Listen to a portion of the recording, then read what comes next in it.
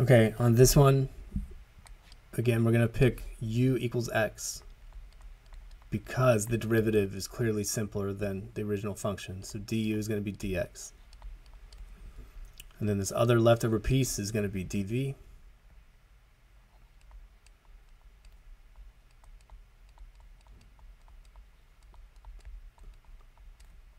And so I have to guess the antiderivative of sine pi x. Well, it's basically negative cosine pi x. I'm to give myself a little more room there. Room for an adjustment. All right, so I, I guess the basic functional form of the antiderivative, but then when I check this by differentiating it, I would get sine pi x, and the chain rule would then say you have to multiply by pi, the derivative of the interior. So I've got to prep this thing with that constant. And now when you check it, it will give you what you started with.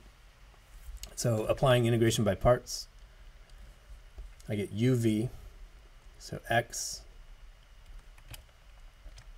I guess I'll write it this way, times negative 1 over pi cosine pi x minus the integral of v du. So I like to just pull out the constants out of this integral while I'm working. So the integral of v du, v has a negative 1 over pi in front. So I'm going to pull that out in front. And then the functional piece of it was cosine pi x, and then du is just dx. All right, so I end up with a negative 1 over pi x cosine x. I should say cosine pi x plus a 1 over pi times the antiderivative of cosine pi x. Well, that's just sine pi x almost. If I were to differentiate that, I would get cosine pi x times pi, so I've got to prepare an extra factor of 1 over pi out in front. And it's just about cleaned up.